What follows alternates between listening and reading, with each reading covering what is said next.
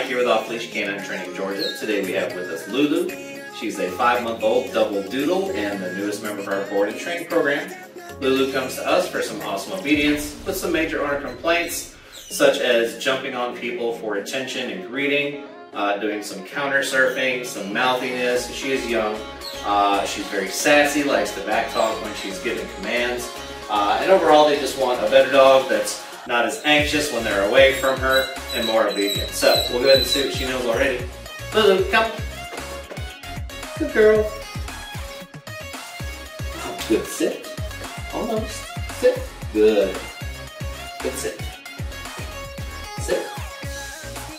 Lulu, sit. Good. I thought you were going to lay down too. Okay. Lulu, place.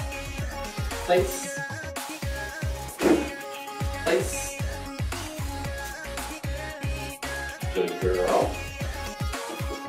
Out. Good girl. Very smart. Come. Yep. Yep. Good girl. Sit. Lulu, sit.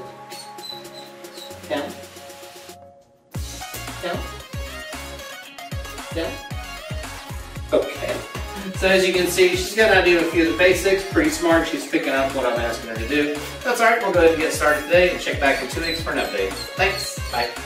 Break. Hey girl. Hi.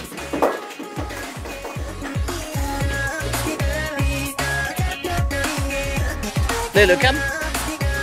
Yes, good girl. Hi, buddy.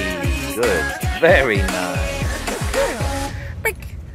Yeah.